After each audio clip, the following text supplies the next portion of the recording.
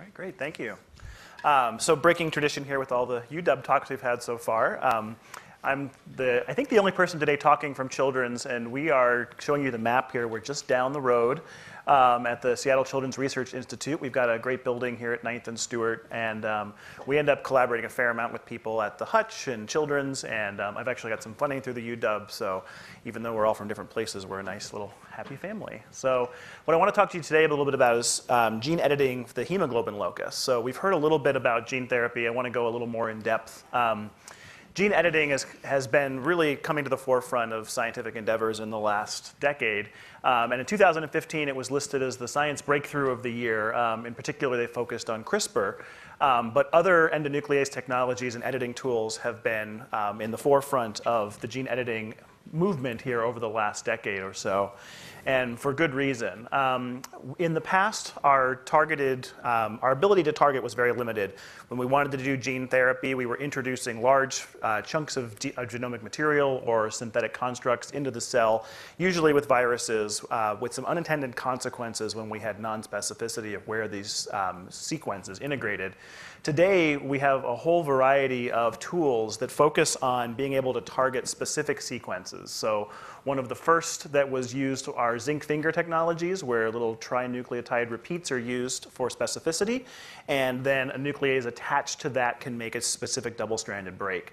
Um, Talon is a second um, um, tool that I'll be talking about a little bit more here, where we have individual nucleotides that are recognized by protein motifs, and that specificity, again, gives you a double-stranded break at a very targeted spot within the genome.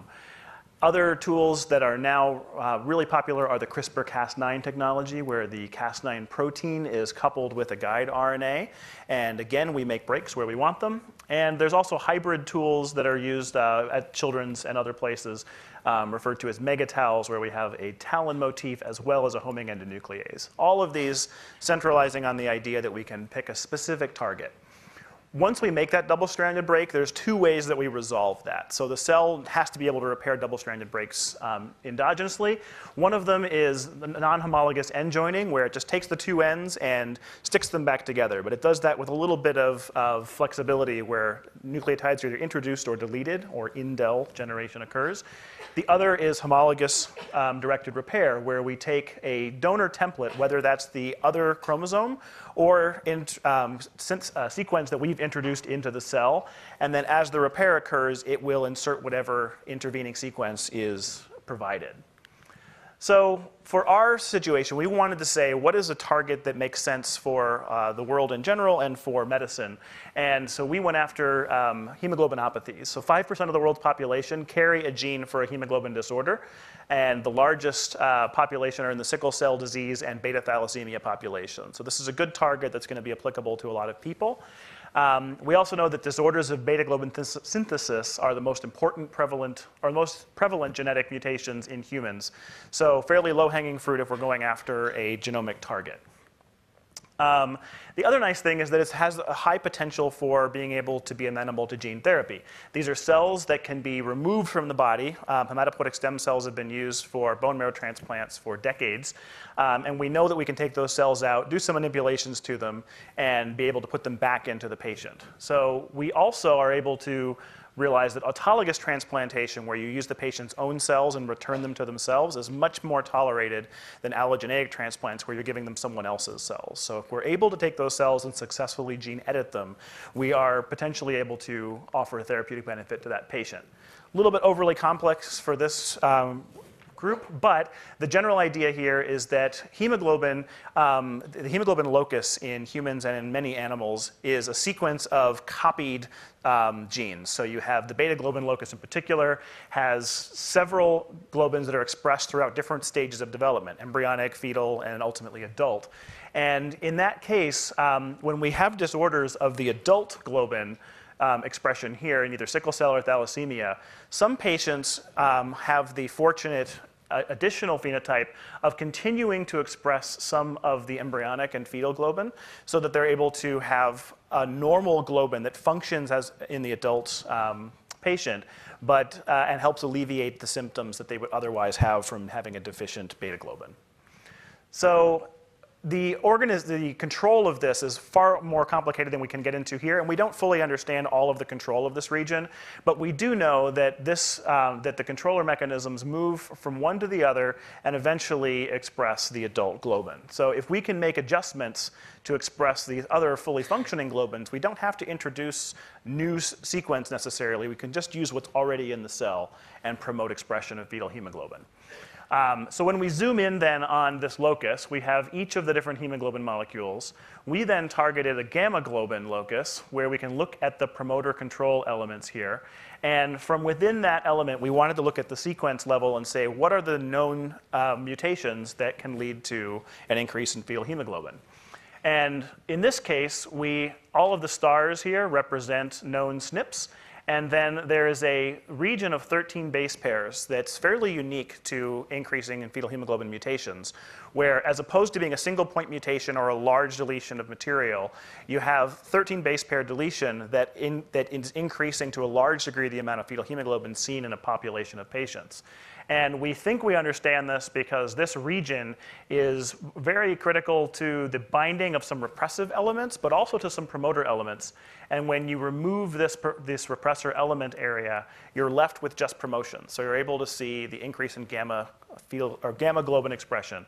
So what we did was we said, let's design something that targets this precise site and makes that double-stranded break. So we have a talon that binds to one side and a talon that binds to the other. And that brings together the two halves of the endonuclease that I'm showing as scissors here. The scissors make our double-stranded break, double-stranded break, and then we rely on the cell's own endogenous repair system to make those insertions and deletions and disrupt the binding of this repressive element. Um, which is shown here. So if we have the indels generated in this area, this whole repressor complex can no longer bind. We still have promotion, and so we would hope to see what we see in patients, which is an increase in fetal hemoglobin. Um, so to do this, we take 34 cells from donors. So the donors have provided us with their hematopoietic stem cells. We put them into a condition where we can put the mRNA for the talons into those cells with electric um, nucleofection. And once the electroporation happens, the cell makes the protein for us. So the protein is generated from that mRNA. Eventually, both the mRNA and the protein go away. And the protein finds the genomic spot that we've identified, makes the double-stranded breaks, and then all of our machinery is gone. All that's left the, are the edits that we've intended. And on the right here is an example of one way that we look for these edits, where this is the specific um, amplification of PCR of our targeted locus in both the gamma 1 and the gamma 2 hemoglobin. And then below here is the, is the endpoint where we've created insertions and deletions, and we can see a little ghosting of that on PCR. And I can explain that more later if someone's interested. Uh, when we look at the sequencing, so we take individual um, genomes from the cells that we've edited, and we sequence through that region to see if we have made any edits. And in the control cells, of course, we don't have any genomic edits. Um, nicely, as expected, when we look in the globin locus, where we're targeting, we see an array of different insertions and deletions. Again, what we're expecting because the cell doesn't have a specific template to repair with. It's going to make these insertions and deletions somewhat at random. But nicely, these fall right within the region that we are anticipating, both from our cuts, but also from the nature of this locus. And we get about a third of the cells experiencing an event. From that, we also want to say we've edited these cells, we've altered them. Can they still function? Can they still go on to make the cells that we anticipate? And so with this, these are some cells that we have put through differentiation media, and we can see a nice little red hue. Um, some of the same cells we can plunk into a colony forming assay where the cells will, will sit in a semi-solid media and form clusters of the cell types we're looking for. And in this case, these are little red cell clusters. So we see that not only are they functioning as red cells, but they're functioning in the same way that we anticipate in a colony forming assay. Um, next, we want to say, well, did we change the amount of fetal hemoglobin? Uh, this is a little bit challenging to assess, but one of the ways we do that is just with flow cytometry. We're able to fix the cells and put in a um, um, antibody to fetal hemoglobin and see if we've made an adjustment. And so while there's always some fetal hemoglobin in our culture conditions, we can see that in the unedited cells, we're at about 60% in some of these cases. And after TALEN editing, we can bump that up to 85%, which, again, remember, this is not a, a specific targeting. There's a whole mixture of cells, some that are edited, some that are not. So to see that whole population jump by a third is really exciting to us.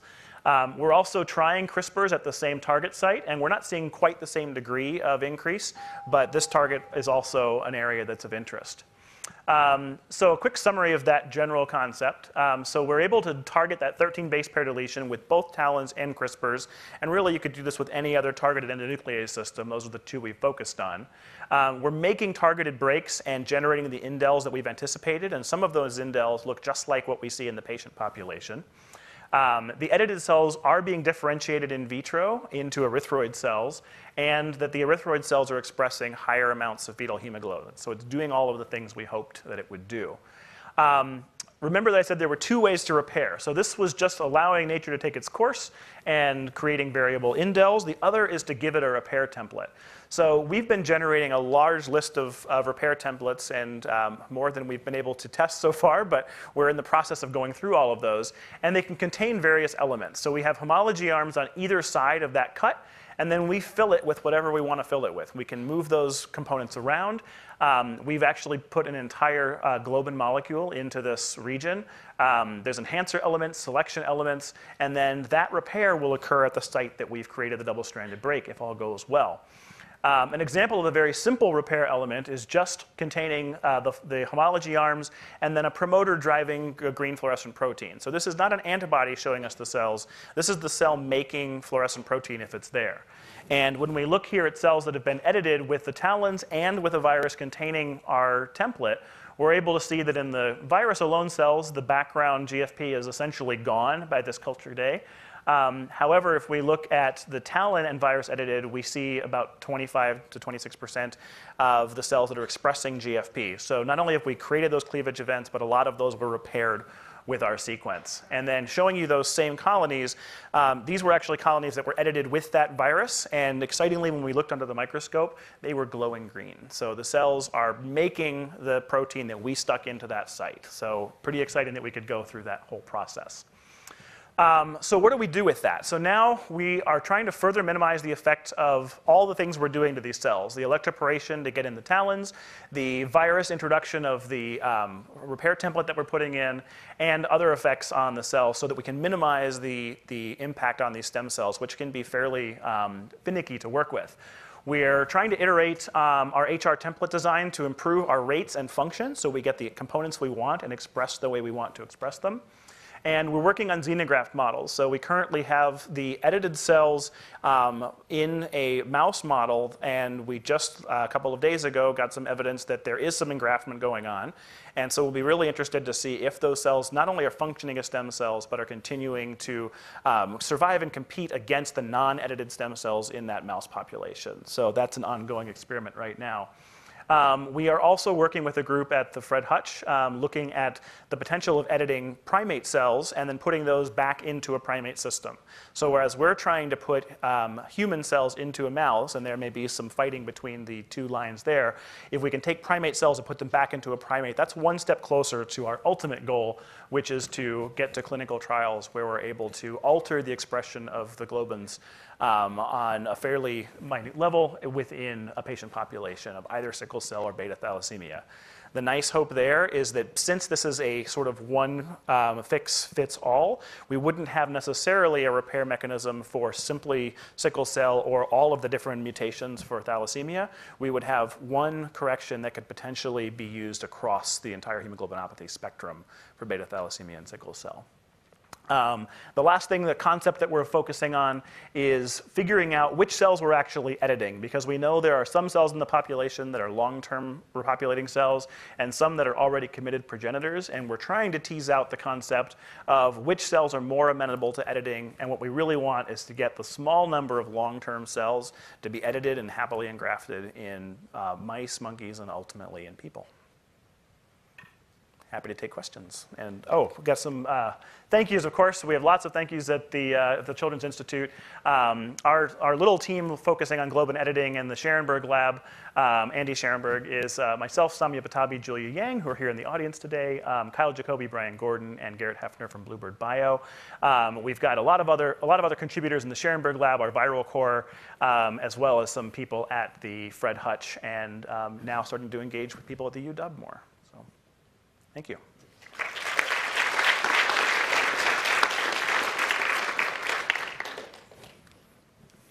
Any question?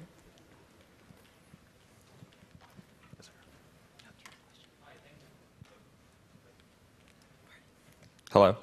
Thank you for that talk. Um, the the part where you just you talked about the variable indels Yes. and how the cell just repairs that uh, portion of the DNA, Mm-hmm. um, and it might be different for different like cells. Right. How um, it, does that does that process have any other side effects from just having random parts of, of DNA missing? Yeah, so it, it, it certainly depends on the frequency and the size of the indels that's generated. So um, from other reports of, do, of doing this type of indel-based editing, um, it depends on the locus a bit. So in sometimes you'll have a high frequency of very small inserts and deletions with a lower frequency of large chunks of DNA that are removed. Um, we have the potential in this site for larger chunks because there are two versions of the gamma globin um, where cuts should be happening at both of those. And there's a chance that the cell will just drop out the entire intervening sequence and pair those together. Um, thankfully, because they're so similar to each other, we'd expect for that to uh, result in the expression of whatever gamma globin was left. Um, the nice thing too is that since we're not just relying on the indel generation uh, and we're doing homologous repair, whatever that process is will ultimately be a lower percentage of the total cells we're editing. Um, but we do have to think about the safety down the line of if we generate an indel that could somehow be pathologic, what could that be and how do we watch for that down the line? Um, at this point, I don't think we have a lot of expectation that we would create um, dangerous or deleterious indels at this particular site. Um, but in other sites, if you were looking at tumor repressor elements or other areas, that would be a very big concern. Yes, sir. Hi, a quick question. Can you comment in your system about the frequency of homozygous versus heterozygous mutations at a given cut site? Yeah, so not right now. We don't, we don't know for sure. The frequency is a little bit hard to tease out in this system. Um, we do um, have a sense that there are times where you will have homozygous edits in those sites, um, but we don't have a good sense of our, of our efficiency, of our rates of getting homozygous versus heterozygous. In the, then in, in the homology-directed repair application, you were saying that you were thinking you would just need one homology template for a wide swath of apathies. Is that right? Right. So, so, and the reason I, I had to gloss over that fairly quickly. The reason being that we're not targeting the mutations in the beta globin locus. We're targeting the site upstream of the gamma globin. So, whatever um, that sequence will exist in in both your beta thalassemia and your sickle cell patient, and whatever we drive in that region, the hope is that that's preferentially expressed to any pathologic.